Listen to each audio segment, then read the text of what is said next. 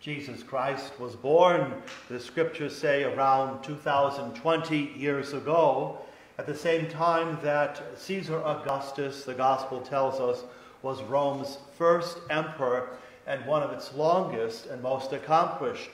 Uh, history tells us that Caesar Augustus ruled the entire world around the vast Mediterranean Sea, from the south where Egypt and North Africa is, all the way up to the Black Sea and then over it into the borders of Scotland. Uh, when he ruled the empire as trophies, he went down into Egypt and he took giant obelisks from pink granite uh, from pagan Egypt that were carved long, long ago, perhaps when Moses and the chosen people were in Egypt. Caesar Augustus called his reign, his long reign, the Pax Romana, the peace of Rome, the Roman peace, because the whole world was in some sense at peace. The borders were protected, everyone is stable, there were no more invasions. And he celebrated his world peace by using those nice obelisks to adorn the temples of Rome for the Roman pagan gods.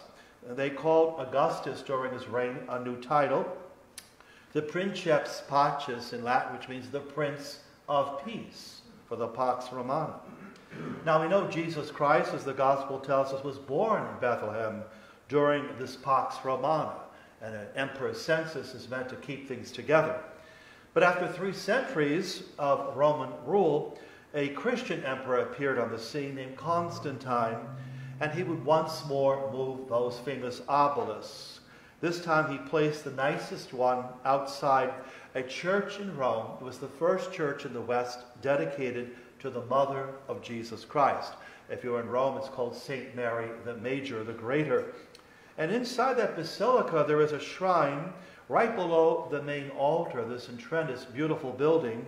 And in the shrine, one can see a small, decrepit, simple piece of barnyard furniture.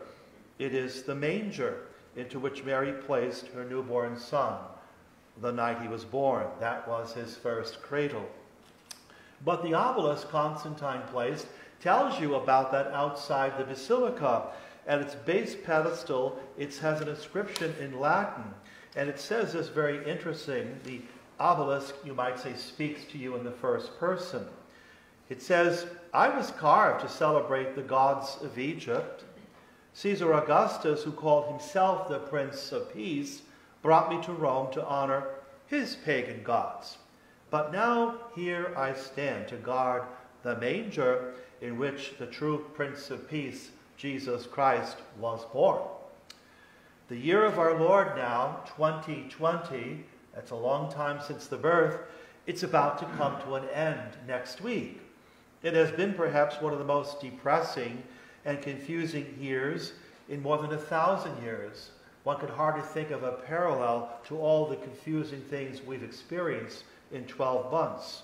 We had a conflicted election year, a lot of competition there, shootings, riots, racist threats, statues torn down, all kinds of negative events on the daily news that seem to obscure us from the joys of daily life. The great cloud then of the pandemic we've had for almost a year, nine and a half months here, it hovers over the entire globe for a very long time, instilling a still vague fear, a threat to all. And of course, face masks have become the new uniform of the whole human race. For all these reasons and for other causes, people become very restless, annoyed, and depressed. There is very little external peace, it seems, in the world at this hour. And for many, many people, there is very little internal peace within them, less hope for many that the new year would improve.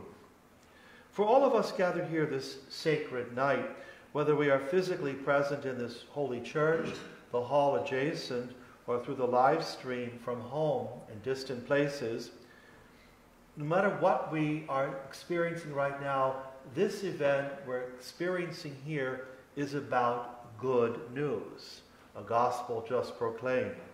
For the Prince of Peace, the real Prince of Peace, born of Mary this night, is no longer found in his manger, in that basilica in Rome. He traded his cradle long ago for a cross much later in life.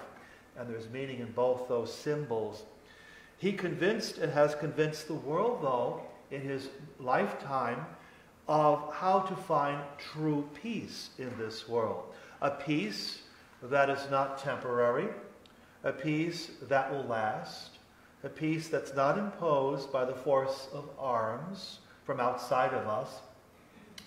When Cicero was a Roman senator, just before Caesar Augustus took over the empire, he debated in the Senate of Rome one day with his opponent, Julius Caesar, and he said that the Roman army has brought peace on earth because every time we destroy a city and level the enemy, we make a desert and we call it peace. But we want something that doesn't seek peace by a violent means, for it's not really peace at all. We want a cure also for our internal restlessness that's within ourselves as we see these disasters around us. So part of the solution is to look at the saints, and there came a few centuries after Augustus Caesar another Augustus. His name was Augustine, St. Augustine, a very brilliant young man, highly educated, wealthy, but despite his popularity and all those other gifts he enjoyed, he was very restless for years in himself. His brilliant mind, his philosopher's mind could not discover meaning in life. He was seeking inner peace for many, many years.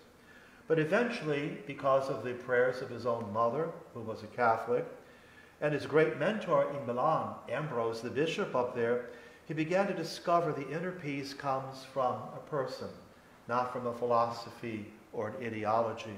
It comes from Christ, the Son of God and Son of Mary, who somehow continue to live in the midst of the world despite all the distractions, Christ himself, and Augustine realized that could be true of him too. He would later describe his discovery of the true Prince of Peace and how it healed him and gave him stability in a very changing world when he wrote his last great work called his Confessions. It's his autobiography. He started with a very short prayer that tells it all for us tonight.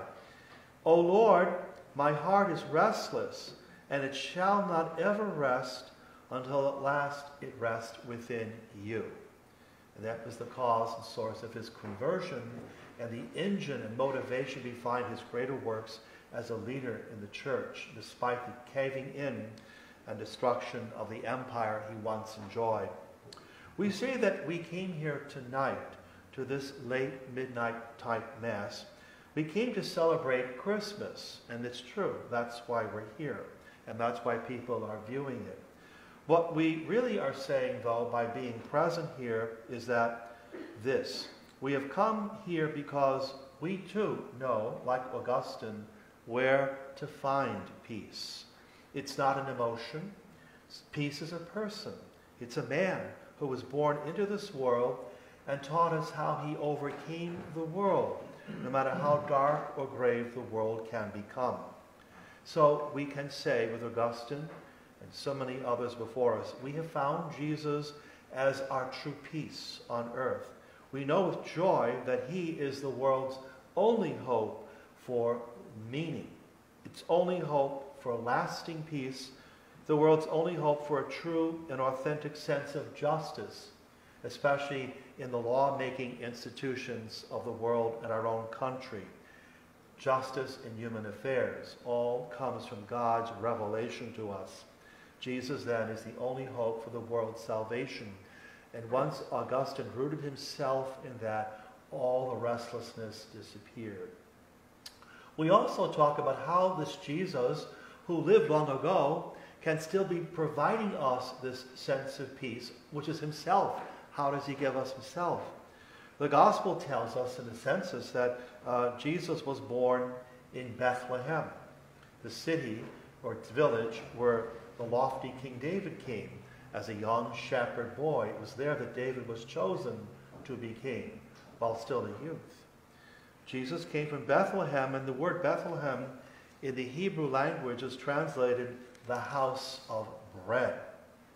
Jesus then, from the house of bread, has transformed himself into our bread of life. So we celebrate the gift of peace. We do it through his great gift of himself in the Eucharist, in this Christmas liturgy.